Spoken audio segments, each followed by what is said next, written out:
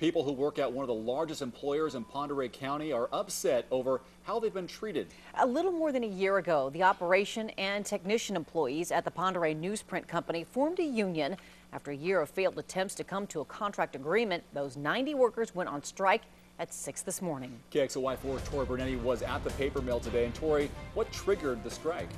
Neither the employees or management inside the Ponderay Newsprint Company would comment specifically about the reason for the strike, but the employees did say the Ponderay Newsprint Company did not follow fair labor practices and did not take them seriously as a union.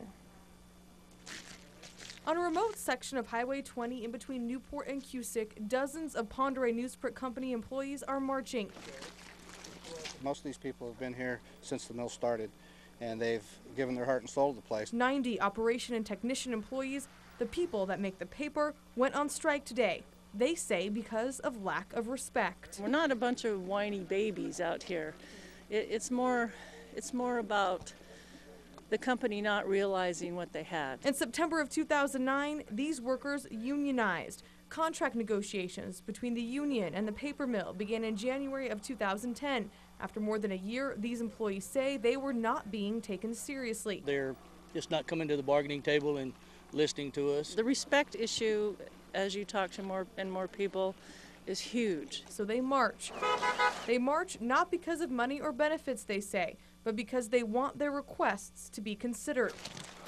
They march because they say they have pride in this small community. I was raised here.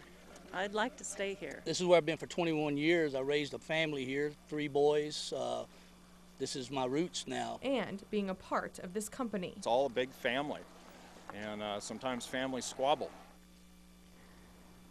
The workers say if negotiations don't continue, they worry about the economies of the small towns that depend on the mill employees.